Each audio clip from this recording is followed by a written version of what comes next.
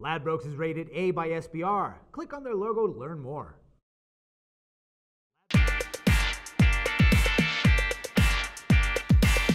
Hello and welcome to Eurofootball Weekly. I'm your host, Natalie Rydstrom.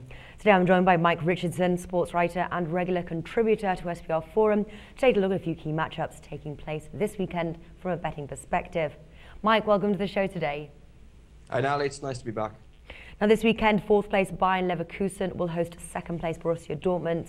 Now on paper we have a close match, 2.3 for a Dortmund win, 2.9 for the hosts and 3.5 for the draw, all with Bet365. Are you touching the winner's market, Mike? Uh, I am going to touch the winner's market on this one, but I agree with you, it is going to be a close one.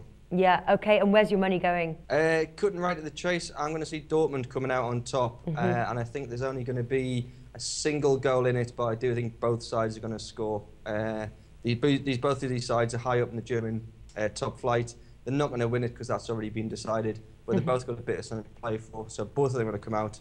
Both of them are going to want to score. Uh, I think we'll have a close game, but like I said, I only see one winner in my crystal ball. Right, okay, that's interesting here. So you can see both teams scoring.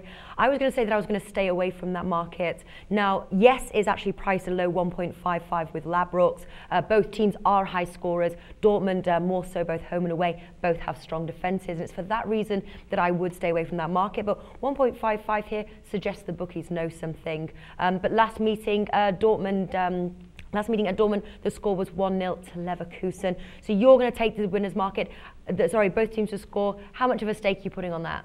Uh, I'm going to stick about £10 of my wife's money on that one.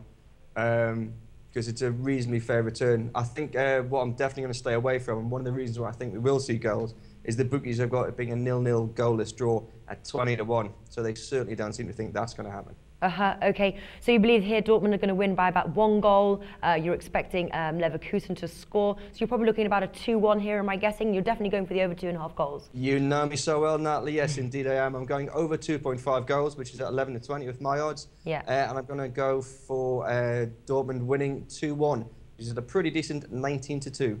Okay, so uh, quite a few bets there to take a look at. Mike Richardson, thank you for joining us today. Pleasure, Natalie. See you next time.